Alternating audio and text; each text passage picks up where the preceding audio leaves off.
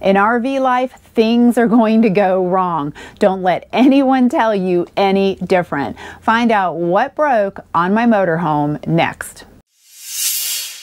Welcome to the channel. I'm Liz. I'm a full-time RVer. I've been on the road four and a half years and I'm on camper number nine. And three of those were brand new. Doesn't matter, new or used, things are going to break and they're going to break pretty often. First, I want to invite you to subscribe to my channel. My mission is to hit 100,000 subscribers and I'm getting closer each day. So thank you for subscribing.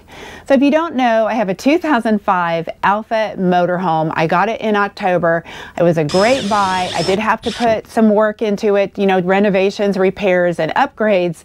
And now I've just been hit with another repair. Well, you probably know this about repairs. They never happen at a convenient time, right? I was getting ready to travel over four days from Utah to Oregon. I had planned eight days to get there, driving every other day. Well, the afternoon, late afternoon, before I was ready to travel, my air conditioning broke. Okay, so let me turn it on so you can hear what it does.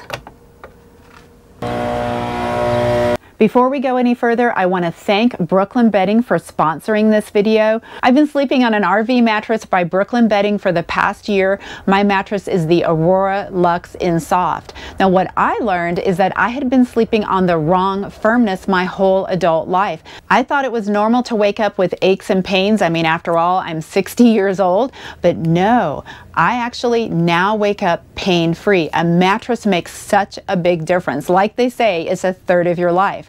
No matter if you're a full timer or you're camping on weekends, you don't want to sacrifice sleep. Of course, if you're buying an older camper, you'll want to replace the mattress, but did you know if you're buying a new camper, you'll likely have to buy a new mattress too.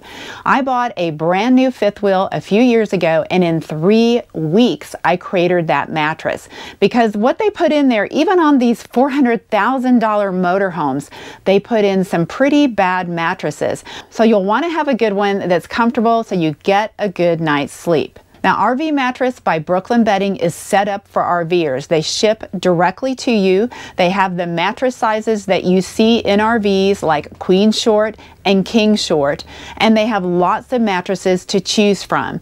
They have a 120 night sleep trial and free shipping. That is so important. If you're on the road, you can get that mattress shipped to you. Their factory is in Arizona, so you'll get your mattress pretty quick. And I should mention that the Aurora Luxe mattress that I have has has a chill pad. That means it's always cool to touch. And that can be really important when your air conditioning goes out or just on hot summer nights. Now there's an exciting update. There is a special discount. This will give you 32% off if you go to rvmattress.com slash lizamazing. You enter in your number, you'll get a special code sent directly to you. This is the biggest sale of the year and ever in their history. So don't miss out. The sale ends on May 31st of this year. The air conditioning does blow cool air, but that sound, I don't know if it's a bearing or the compressor going. Right away, I knew this was not going to be a quick fix. Most dealers, you go any RV repair place, they're going to have you waiting for months. So here we are in May. I probably wouldn't even get my RV back until like September or October even. So I needed to have a temporary solution to keep it cool while I'm waiting and figuring out where I'm going to take it and how I'm going to get it fixed. Because in my situation, I do not have normal rooftop air. So I mentioned that this was camper number nine. Well, all the campers before that that had air conditioning had rooftop air. This is my first basement air. I love it, but there are some downsides. Let me talk about why I love it first, because if you're used to rooftop air, you know how noisy it is. It is super, super loud and it's not very efficient. If you set up camp on a hot day, you go to turn on your air conditioning, it may take you three or four hours or more before your camper finally cools off. Let's say your camper got up to 82 or 88 degrees. It'll probably take you the rest of the day to get it comfortable. Well, the video I shot last week, I shot with my air conditioning running because basement air is super quiet. I really love it. When I'm working at my desk, I can't even hear it. Because the air is in the basement, Alfa was able to build the motor coach taller. The interior height of the ceiling is 7 feet 6 inches. I get an extra row of cabinets above my head. I get an extra 16 feet of storage space. Now my unit is 27,000 BTU. It chills this motorhome really well and really fast and has a heat pump. The heat pump works great too. But the downside, if you haven't guessed it already, is that the basement air is hard to work on and it's actually hard to find people to work on basement air because there's not that many. So that's why I was like, okay, I'm going to find a short-term solution because I'm going to have to find a specialized repair person. So I went to Costco and I bought an air conditioner. I bought a Hisense roll-around air conditioner. It's 8,000 BTU, 500 square feet, which is probably double what I have here and it works great. So here's my typical setup when I shoot and you can see the air conditioner behind me. I mean it's ugly but it gets the job done. I'm just grateful to have even found an air conditioner this time of year, right? I mean we know they sell out when summer starts but I do recommend that one and I'll have a link to it in the description and it's at Costco and it costs 300 and some dollars. It's just so easy for your camper to get hot air conditioning is not an option. So I'm really glad that I got it, but here's the gift in that.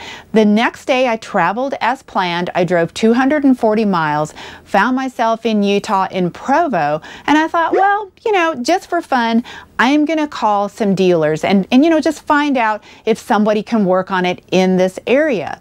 Well, I posted on the Alfa Forum. As you remember, I really recommend having a forum because it's such a great resource. And someone said, well, call Charlie's in Ogden. And I did. And you know what? Like most dealers, they're backed up over a month, but they said, oh, you have an Alfa. We specialize in Alfas. We have 12 right here. I know you're traveling. We'll work you in. It's going to take about six days, but we'll work you in and see if we can get you back on the road. So instead of spending one night in Provo, I'm spending six nights in Provo, but I feel really lucky. They told me they're one of only three dealers in the country that specialize in Alfas. They've seen basement air, they work on basement air all the time, so I feel really good about it. And the other gift in that is that Provo, Utah is beautiful. I've never been here, so I've been out on my bike and I've been exploring it. It's unbelievably gorgeous because I'm in a green valley surrounded by snow-capped mountains. The weather's perfect. The high is generally about 70, 75, so my little air conditioner can keep up. I really don't think it would keep up if I was in 90 degree weather. So I feel really fortunate that maybe I won't be waiting months to get my air conditioning fixed. I mean, that's the thing about RV life. You have to roll with it. You let your travel plans be changed. And remember that repairs are unavoidable, so you just have to make the best of it. If you've enjoyed this video, please like, subscribe, and share, and let me know your repair stories. I'd love to hear it. As always, these are exciting times to push past fear, build confidence, and live amazing.